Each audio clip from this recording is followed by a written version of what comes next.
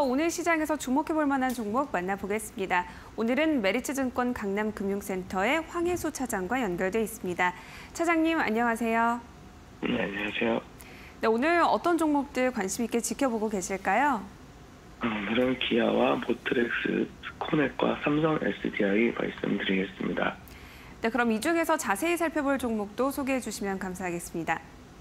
어, 우선 기아를 말씀드리겠는데요. 어, 기아 같은 경우는 실적 발표가 있었습니다.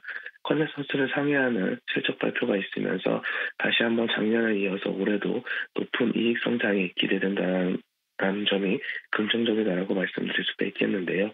특히 해외 시장에서 EV 판매가 굉장히 호조를 나타내면서 다른 업체와는 다른 수익성과 매출이 나타나고 있는 것이 긍정적인 부분이다라고 말씀드릴 수가 있겠습니다.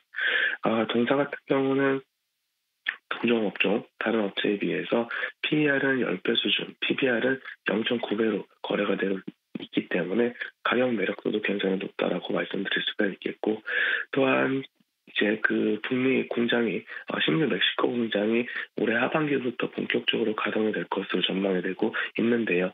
가동이 되기 시작하면 그 고객 다변화의 기회를 얻으면서 다시 한번 그 전기차 그리고 미래차 시장에서의 어, 확고한 어, 지위를 차지할 수 있다라는 점이 어, 주가 모멘텀이 될 수 있다 이렇게 말씀드리겠습니다. 어, 두 번째는 삼성 SDI를 말씀을 드리겠는데요. 삼성 SDI 같은 경우에는 올해 하반기부터 본격적인 이익 성장이 기대된다라는 점이 어, 긍정적인 투자 포인트다라고 말씀드릴 수가 있겠습니다.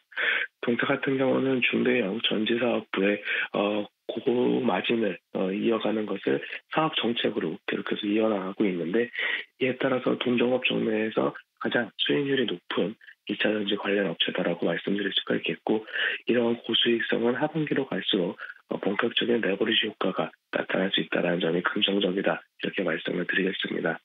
또한 동사 같은 경우는 추가적인 어, 북미 신규 투자 기대감도 유효하다고 말씀을 드릴 수가 있겠는데요. 현재까지는 스텔란티스의 조인트 벤처 이외에는 어, 공식적인 북미 투자는 없는 상황이지만 고객사 수요를 고려하게 된다면 추가 투자 가능성이 굉장히 높다라는 점 어, 이런 점을 감안했을 때 추가적인 어, 북미향 투자 관련 소식도 기대해 볼 수 있다는 점을 어, 주가 상승 모멘텀으로 작용할 수 있다 이렇게 말씀드리겠습니다. 네, 알겠습니다. 지금까지 황혜수 차장과 함께했습니다. 오늘 말씀 고맙습니다. 감사합니다.